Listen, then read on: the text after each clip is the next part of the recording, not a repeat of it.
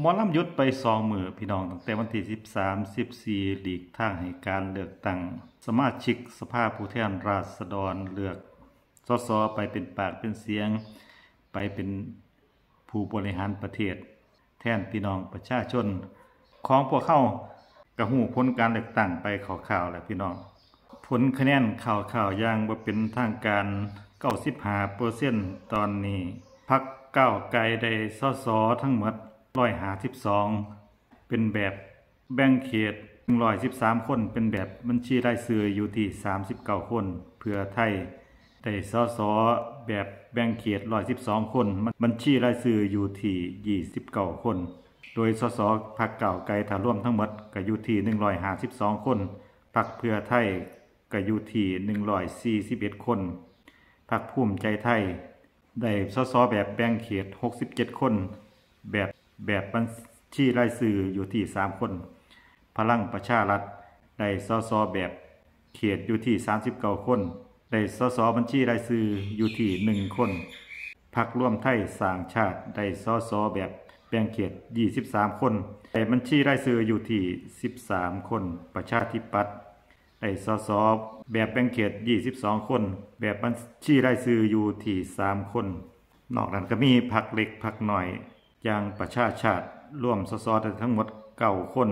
ไทยสางไทยได้หกคน ชาติพัฒนากล้าได้สองเสรีร่วมไทยได้หนึ่งล่าสุดทั้งหัวหน้าทัพพักก้าวไกลกาศตั้งรัฐบาลโดยร่วมเอาเสียงของฝ่ายข้านในรัฐบาลก่อนมาตั้งรัฐบาล มีเพื่อไทยก้าวไกล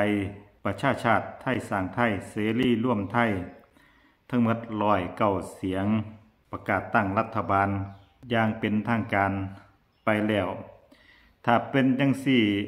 ถ้าบ่มีอุบัติเหตุทางการเมือง หรือบ่มีพลิกผันอย่างอื่น หัวหน้าพักก้าวไกลก็สิได้เป็นนายกรัฐมนตรี ที่อายุน้อยที่สุดเพียง 42 ปี เป็นประวัติศาสตร์ทางการเมืองอีกหนาหนึ่งของประเทศไทยกระทาจับตาเบิงพี่น้อง ก็ยังใส่เวลาอีก เป็นอาทิตย์สองอาทิตย์กว่าสิมีการรับรองสสจากกกตจากนั้นเฮาก็สิเห็นการจัดตั้งรัฐบาลอย่างเป็นทางการกระจับตาเบิงพี่น้องหลังจากไปลงคะแนนเสียงแล้วเฮาก็เห็นมติของประชาชน อยากให้ไผเป็นรัฐบาล อยากให้ไผบริหารประเทศ เมื่อประชาชนส่วนใหญ่เขามีมติออกมาจังสี่ก็ต้องยอมรับ มติเสียงส่วนใหญ่ของ ประชาชนชาวไทยกรรมาถาเบิงพี่น้องอีบกีอึดใจเฮาก็สิเห็นหน้าตาของนายกคนใหม่ของประเทศไทยเลยกันแล้ว